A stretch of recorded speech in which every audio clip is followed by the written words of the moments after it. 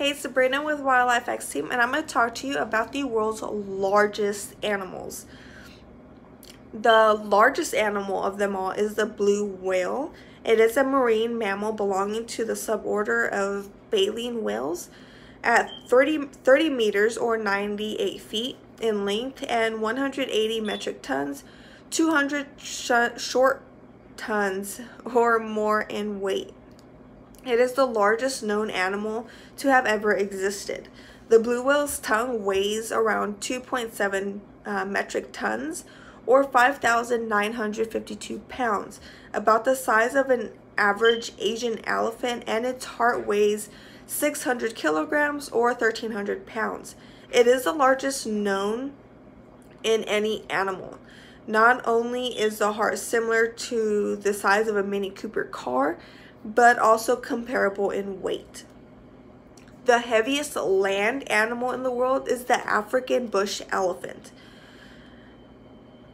The males reaching 6 to 7.7 meters in length, 3.3 meters in height at the shoulder and weighing 6 tons or 13,000 pounds. Females are actually much smaller, reaching 5.4 to 6.9 meters in length 2.7 meters in height at shoulder and weighing 3 tons.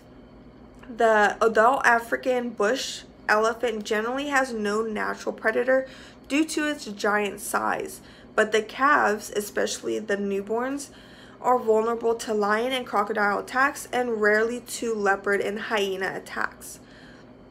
The tallest land animal is the giraffe. The giraffe is an African even-toed ungulate mammal and the tallest living ter terrestrial animal in the world. It stands six, 5 to 6 meters tall and has an average weight of 1600 kilograms for males and um, 830 kilograms for females. The giraffes have extremely elongated necks which can be over 2 meters in length according to nearly half of the animal's vertical height. The neck, the long neck results from a disproportionate lengthening of the cervical vertebrae, not from the additional addition of more vertebrae.